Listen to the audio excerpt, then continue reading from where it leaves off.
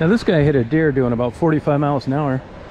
It did uh, $14,000 worth of damage. You're going to total it. See where this has been bondoed before? Uh, another thing about these cars is uh, you can't get parts for them. Three to six months on BMWs. Crazy.